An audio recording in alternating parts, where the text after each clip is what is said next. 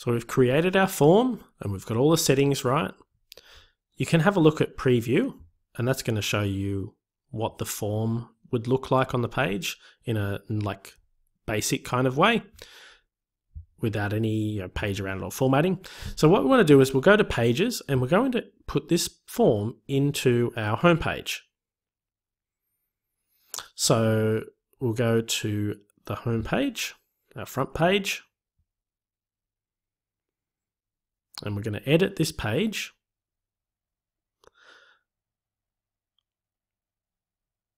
Now there is a Visual Composer element for gravity forms.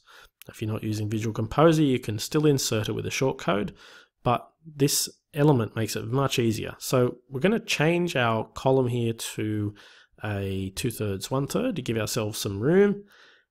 And we, when we click on the plus to add an element, we're looking for the gravity forms element. It's a little kind of gray uh, box with a G on it.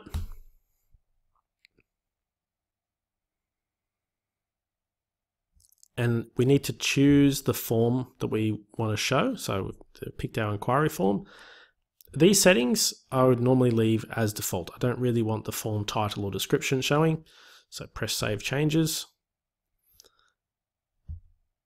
And now you can see what that looks like. Of course, using the preview is a good idea because then you know if you've done the right thing or not. So there's our form. We've got name, email, phone, and the inquiry, and send the inquiry. And if I fill in that form,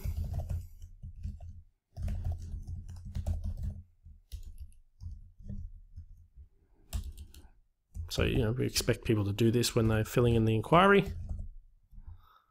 Send inquiry.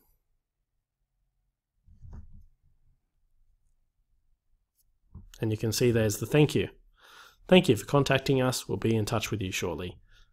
So that is all you need to do to get your form onto the page. So now we're happy with that, press update, and that form is then live on that page, ready for people to start contacting us. And if we wanted to add the form into the contact page or any other page, it's exactly the same process. Make a space for it, drop in the gravity forms element, pick the form, and done.